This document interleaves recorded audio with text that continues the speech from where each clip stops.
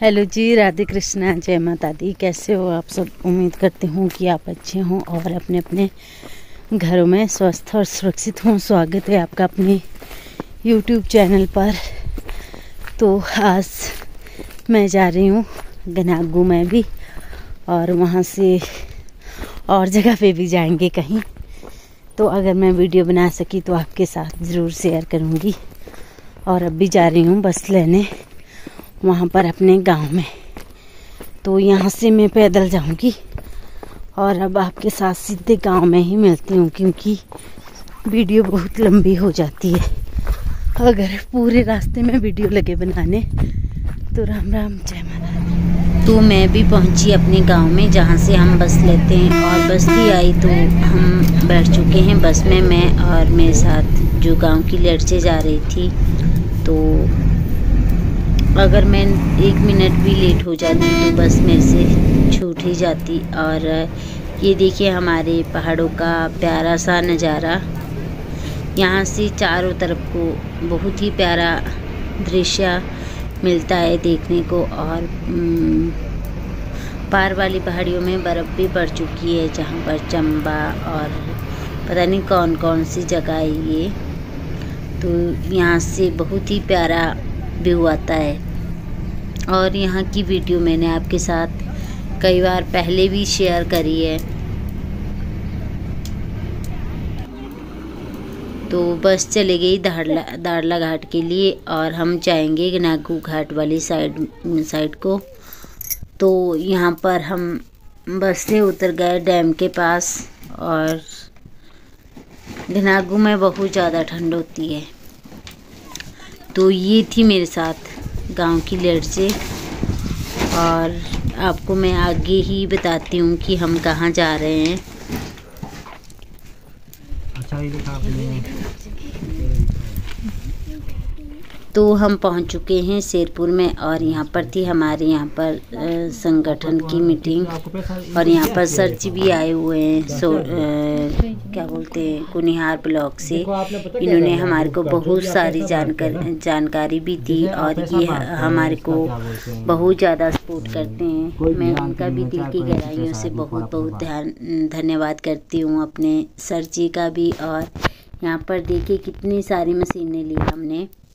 तो हमारे स्वयं सहायता समूह की सभी महिलाओं का एक जैसे स्वयं सहायता समूह की सभी महिलाएँ तो पंचायत में एक संगठन बनाए, उसमें हमारे को ये मशीनें मिली है, घास काटने की और पावर टिलर है, कई मशीनें हैं यहाँ पर।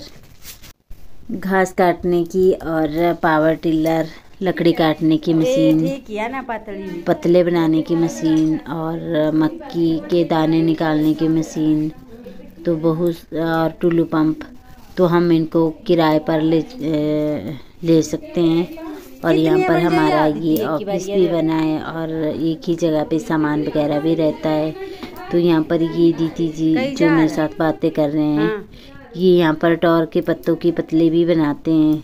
सेम ऊनी की तरह जो जैसी प्लास्टिक की पतले होती है। तो ये है पतले बनाने की मशीन और यहाँ पर ये रखा है जो हमारे को संगठन में सामान मिला।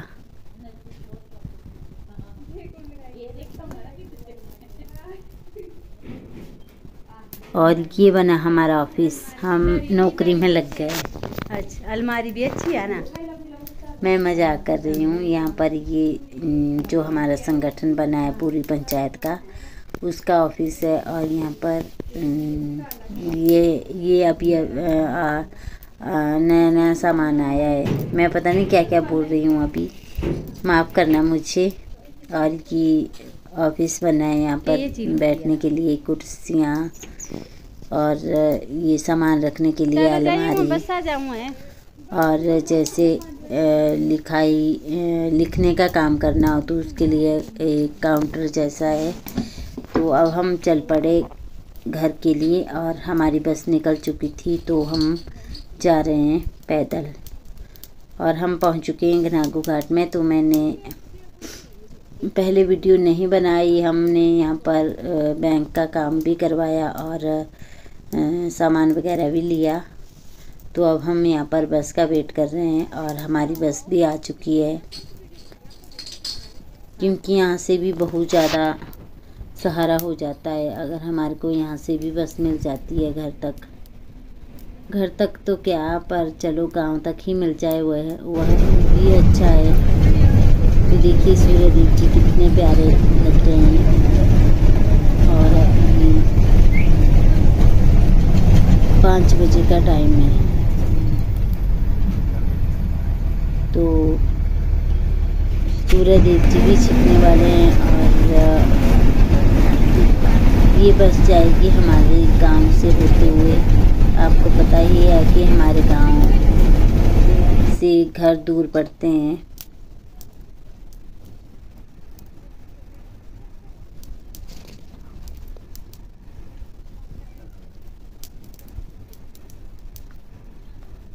और यहाँ पर कच्चा रोड है। धूल ही धूल हो जाती है चारों तरफ़ को। और ये है वो घर जहाँ पर शादी थी पहले। और गाँव तो आपने पहचान ही लिया होगा।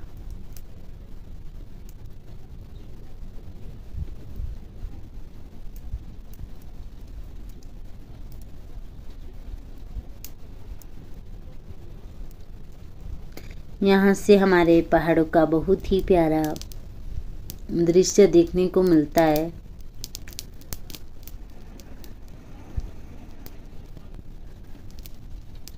और आजकल हमारे पहाड़ों में बहुत ज़्यादा ठंड हो चुकी है, सूखी ठंड। तो बीमार होने का भी डर रहता है।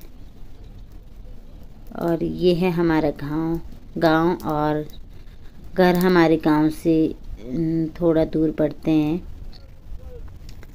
तो आगे है ये मधु दीदी का घर और यहाँ पर ये भी अपने इनकी सास आए दूसरी इनकी जो देवरानी नीचे रहते हैं। ये दीदी के पास होंगे और वहाँ से जा रहे थे, इनकी देवरानी के पास। तो ये भी हमारे साथ ही आए बस में।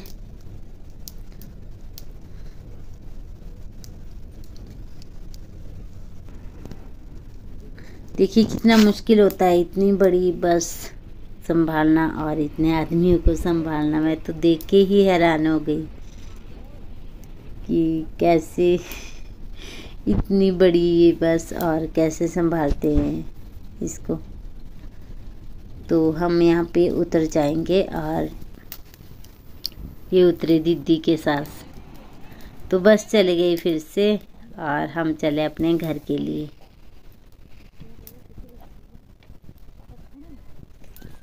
ये मैंने सामान लिया था कुछ और पहले मैं वीडियो नहीं बना सकी क्योंकि हमारी बस छूट जानी थी फिर। तो ये आ गए दीदी के सास और मैं इनके घर भी रास्ते में ही आते हैं, जहाँ से हम पैदल जाते हैं। ये है इनके छोटे वाले बहू का घर, यानी कि मधु ठाकुर दीदी की देवरानी का घर। ये नीचे खड़े हैं दीदी जी। ये भी हमारे साथ बात कर रहे थे और अब हम चल पड़े घर के लिए। तो अब मैं चली अपने घर के लिए और तो जो गाँव की दो से गई थी वो चले गई अपने घर को। तो ये मैंने गायों के लिए लाया सामान। ये गुड़ है गायों के लिए नहीं कट्टू के लिए। इसमें गुड़ है डालडा है और ये दलुए चने की। तो अभी ये भी सिर के ऊपर ही ले जाना पड़ेगा। और देखिए सूर्य देव जी छप छिप चुके हैं। और मुँह में डाली है मैंने टोफी। अब मैं आगे वीडियो नहीं बना पाऊँगी। आगे नहीं बनाऊँगी क्योंकि अभी जंगल का रास्ता है और दौड़ के जाना पड़ेगा घर को।